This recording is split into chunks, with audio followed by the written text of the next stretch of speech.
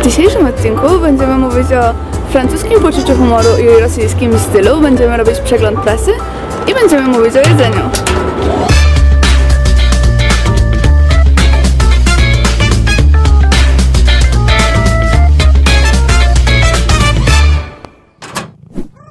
Witam Was w kolejnym odcinku podcastu Style Digger. Nazywam się Joanna Glogasa i dzisiaj będziemy rozmawiać o polskich gazetach. E, Zainspirowała mnie do tego dyskusja, która rozwinęła się na mojej ścianie na Facebooku kilka dni temu, dlatego postanowiłam poświęcić właśnie gazetom dzisiejszy odcinek. Gazetą, którą kupuję najczęściej jest Elle. E, Jest właściwie jedną z moich dwóch ulubionych gazet o modzie. Lubię ją przede wszystkim dlatego, że mają bardzo fajne opracowania trendów e, sezonowych, ale także takich pomniejszych, właściwie w każdym numerze. Bardzo fajne jest to, że piszą o ciekawych miejscach, o jakichś outletach, o showroomach, o sklepach projektantów, ale też o wydarzeniach, o wyprzedażach, o pokazach mody. To jest bardzo, bardzo fajne. Bardzo często piszą o różnych projektantach, o ich życiu i to też jest świetne. Yy, mają sesje. Sesje są naprawdę dobre. Niektóre z nich sami produkują, niektóre kupują, ale wszystkie z nich, wszystkie z nich są naprawdę godne obejrzenia. No i ostatnia rzecz, też bardzo fajna. O, tak. Polscy projektanci. Dużo piszą o polskich projektantach, o tym, co się dzieje w polskiej modzie. Swego czasu wydali nawet specjalny dodatek Polska Moda i uważam, że jest to bardzo, bardzo fajne. Jeżeli chodzi o minusy, to nie podoba mi się, że zrezygnowali z bardzo fajnego działu, który mieli, czyli z szaf znanych ludzi. Znane osoby pokazywały swoją szafę, swoje dodatki i mówiły o historii, bardzo fajna rzecz. Czasami też artykuły z działu psyche są takie lekko płytkie, na przykład operacja nosa zmieniła moje życie, albo sprawdź go zanim powiesz tak. Kolejną gazetą, którą bardzo, bardzo lubię jest Viva Moda. Przede wszystkim lubię ją za to, że jest całości o modzie, bo kiedy chcę kupić gazetę o modzie, to chciałabym poczytać o pokazach, o projektantach, a nie o nowym chłopaku Kasi Cichopek i dlatego właśnie za to bardzo cenię Viva Mody. Oprócz tego mają genialne opracowania trendów, zupełnie inne niż wszędzie, są naprawdę fajne. Yy, mają też świetne sesje. Większość z nich, nie wiem czy nawet nie wszystkie, produkują samemu i są naprawdę, naprawdę świetne. Oprócz tego, fajna rzecz, zauważają rosnącą siłę internetu. Prawie w każdym numerze możemy zauważyć jakieś odniesienia do blogosfery czy do jakichś internetowych stron. Tutaj mamy na przykład wywiad z z amerykańską blogerką. Jedynym minusem tej gazety jest to, że jest kwartalnikiem i ukazuje się w związku z tym rzadko. To były właściwie moje dwie ulubione polskie gazety, ale są też takie, które kupuję okazjonalnie, dużo rzadziej. Na przykład Twój styl. Kupuję go chyba z sentymentu, bo dawno temu moja mama go prenumerowała. To jest bardziej lifestyle'owa gazeta niż o modzie, ale czasami mają fajne sesje. Kolejną taką gazetą, którą kupuję nawet rzadziej niż Swój styl jest InStyle. To jest dosyć nowa gazeta na, na polskim rynku i zapowiadała się fajnie, ale trochę nie wychodzi moim zdaniem. Mają fajną rzecz, bo mają e, zdjęcia gwiazd z różnych gali i to jest ciekawe. Ale znowu z kolei mają też taki cykl 10 najlepszych kreacji danej gwiazdy, który mnie tak irytuje, że po prostu nie mogę go znieść. A to dlatego, że te kobiety zwykle wyglądają jakby miały doklejone głowy i wygląda to strasznie.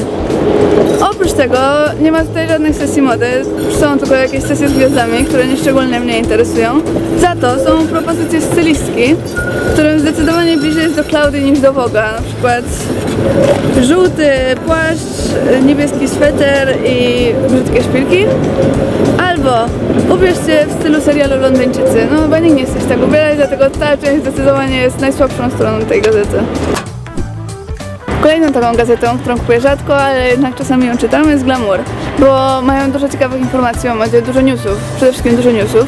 Poza tym promują polskich projektantów, jest o nich bardzo dużo informacji, a swego czasu bardzo mocno promowali świetną projektantkę Agnieszkę Orlińską, nie wiem czemu już tego nie robią, ale za to ich artykuły w stylu szukasz męża, poproś przyjaciółkę o pomoc, albo co możesz z nim zrobić w 5 minut, to naprawdę ciężkie do przebrnięcia. Znaczy, nie czytam ich, ale są nawet ciężkie, kiedy się na nie patrzy. Teraz trochę z innej beczki, magazyn Kamak. Yy, Ten numer jest poświęcony filmowi Easy Rider, bardzo fajna rzecz. Yy, Fajne jest też to, że także zauważają internetowe aktywności, piszą o blogerkach.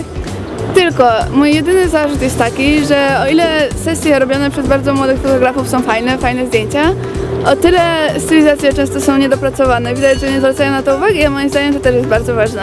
To by było tyle, jeżeli chodzi o gazety, polskie oczywiście, bo tym zagranicznym z pewnością poświęcę któryś z kolejnych odcinków. Ciekawe jestem, jakie wy czytacie i jakie macie na ich temat opinie. Dzisiejszym mikrotrendem są norweskie wzory. Pojawiają się nie tylko na tak oczywistych częściach garderoby jak swetry czy kurtki, ale także na dodatkach, na przykład na rękawiczkach albo na podkolanówkach. Możemy je zobaczyć nie tylko na pokazach mody, ale także na przykład u polskiej blogerki pani Mruk. Mam dla Was jeszcze jedną nowość, ponieważ jest dużo osób, które mają świetny styl, a niekoniecznie są szerzej znane. Postanowiłam stworzyć taki mały dział w moich odcinkach, który będzie prezentował styl takich właśnie osób. Pierwszą z nich jest redaktorka rosyjskiego Harper's Bazaar, Natalia Alaverdian. Przede wszystkim ma genialne buty. Czasami jej buty robią cały strój, zawsze są wysokie i zawsze są niesamowite. Po drugie, często nosi futra. Ciężko stwierdzić, czy prawdziwe, czy naturalne, ale wygląda w nich świetnie. Po trzecie, kolory. Bardzo fajnie łączy kolory i tak inaczej niż wszyscy. Nie wiem, zielony, bordowy, naprawdę, naprawdę mi się podoba. I ostatnia rzecz, czyli to, że jej stroje są zawsze raczej proste, ale podkręcone jakimś fajnym dodatkiem. Zresztą sami zobaczcie na zdjęciach. Dostaję bardzo dużo maili od osób wybierających się do Krakowa z pytaniami o to, gdzie pójść, co, zwie- co zwiedzić, co zjeść, gdzie się wybrać wieczorem. To jest bardzo obszerna kwestia, dlatego postanowiłam ją podzielić na kilka części i dzisiaj Wam opowiem o jedzeniu, o tym, gdzie ja lubię zjeść w Krakowie. Moją najulubieńszą restauracją jest Miód Malina na rogu Grodzkiej i Placu Wszystkich Świętych. Niestety jest dosyć droga, dlatego jem tam bardzo okazjonalnie, najczęściej wtedy, kiedy odwiedzają mnie moi rodzice. A jeżeli chodzi o takie tańsze opcje na co dzień, to przede wszystkim Glonojad, wegetariański bar na Placu Matejki. Bardzo dobre jedzenie, bardzo fajny wystrój i bezprzewodowy dostęp do internetu, bezpłatne hasło warzywko. Fajna rzecz, często tam jem. Druga rzecz, druga restauracja to Dynia na Krupniczej. Dynia na Krupniczej, świetne makarony, też bardzo ładny wystrój. Moje ulubione danie tam to penne z kurczakiem i z sosem z białego wina. Warto też wpaść do Lowe Krowę na Józefa. Można tam spróbować hamburgerów i sałatek robionych na miejscu i jestem pewna, że Wam się spodoba. To już wszystko w tym odcinku, także bardzo Wam dziękuję. Jeżeli macie jakieś pytania, piszcie na joanna.glogaza.gmail.com i do zobaczenia za tydzień.